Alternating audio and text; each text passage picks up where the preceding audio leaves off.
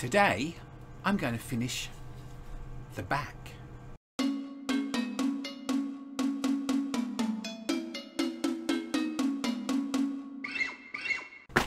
Hello and welcome to this week's video, or should I say this two-monthly video. Yeah, it's been a bit of a gap, sorry. Uh, been busy, too busy working, going on school trips, surviving the end of term, doing live demos.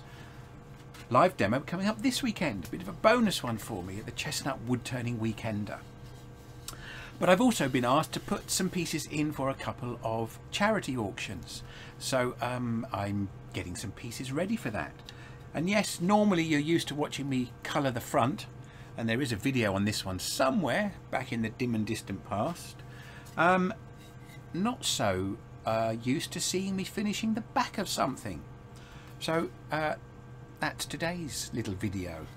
And to do that, I'm going to be using the wonderful Chestnut Products buffing kit. Buffing wheel kit. Here we go. Uh, it comes with three mops, three compounds and two mandrels. The mandrel that I'm using is already in the lathe, in a chuck, uh, and the wheels just screw on and screw off so you can change them very easily. You can center the mandrel as you're tightening, tightening it into your chuck um, by putting a live center on here. So three of these um, 8 inch mops, an A wheel, a B wheel and a C wheel and three compounds. Um, the first compound for uh, getting a finish on your wood uh, is a, this dark brown compound like Tripoli.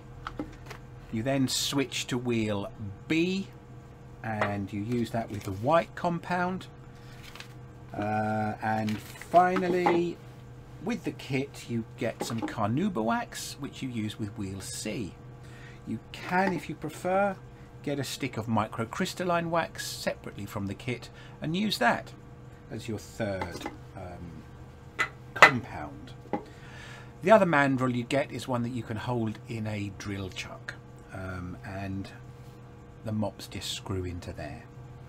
So they're all loose uh, mops, not stitched together, separate leaves, but when they spin 1500 maximum RPM, they'll bunch together and they will um, be much stiffer and improve the finish of your wood.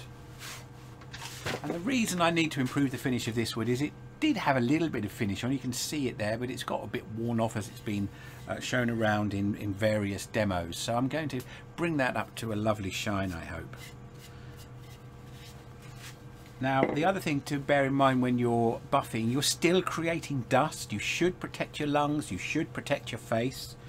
You also, when you're working with um, a buffing wheel, um, you don't want, you want to hold your work here in that bottom third where you would do your, your sanding. There is a, still a tendency as the mop turns to grab and send your work flying across. So bear that in mind as well. Uh, I've just pulled the hood off my dust extractor. I will have the dust extractor running as well, just to remove any stray bits of cloth or dust that might fly around. I'm going to get the tail, the live center, oh, not the live center. Let me put it on a bigger picture and see what I'm doing. Getting the tool rest, uh, making sure that's right out of the way and I've got room to stand here. Right, so I'm going to put the first compound on first compound on after I've put my uh, protection on.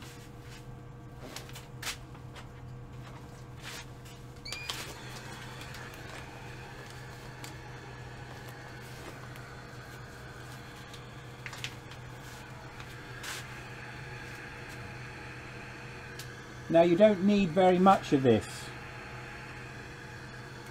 Uh, let's get it spinning. That's plenty.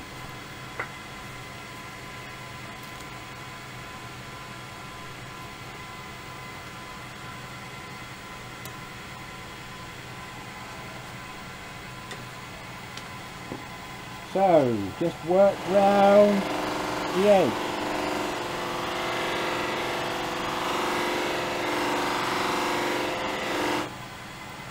can see a bit of a sheen beginning to appear compared to here where it haven't buffed it yet.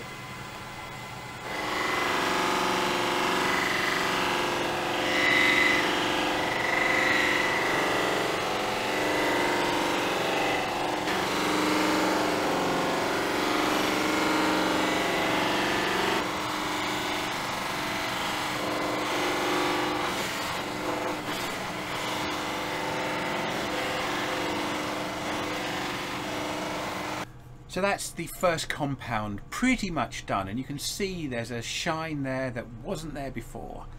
But I need to keep working on that. It's been shown at a few demos this, this piece and it's got a little bit of damage on it. Uh, which possibly if it hadn't gone it's moved a little bit I might have put it back on the lathe and done a, a, sanding job on it but I think I think it would take a little bit more work that's all just to, to tidy up that edge so let's get on with that.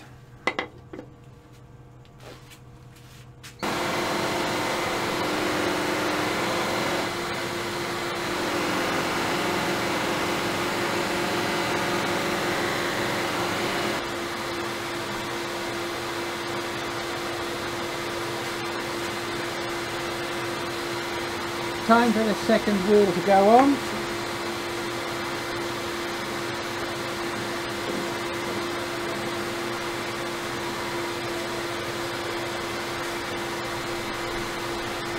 And the white compound.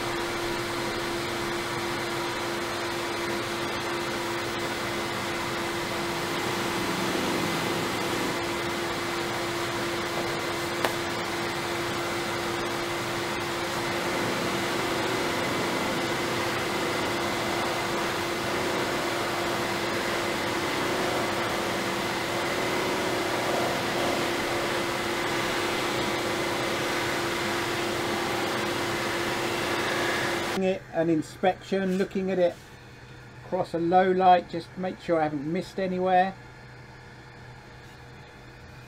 It's also getting a very lovely silky feel to it.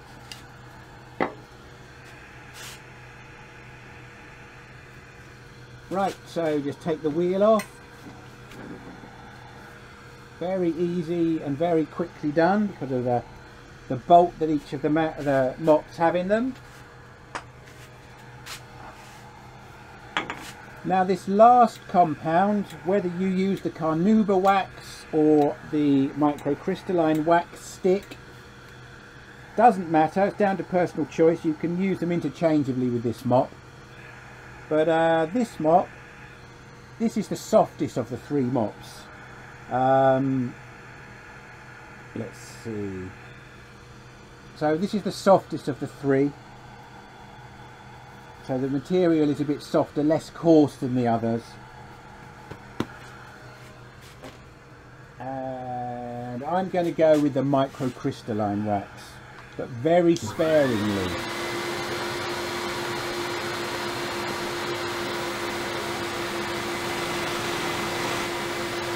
I can always come back and put more on.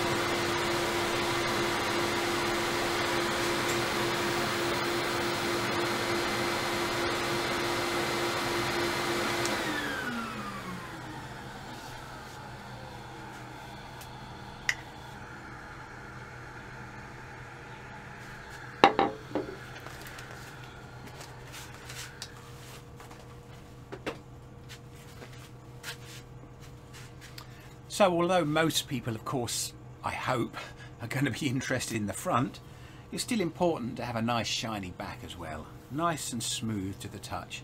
And you can clearly see the shine that that's put on. Uh, just to sort out the signature properly again now.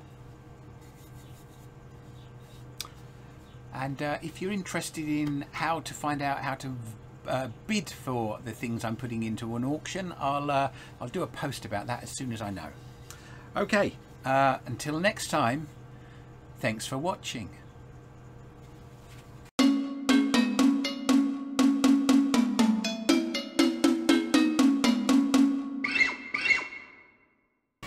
Better just get a nice shine on the inside of the bowl as well.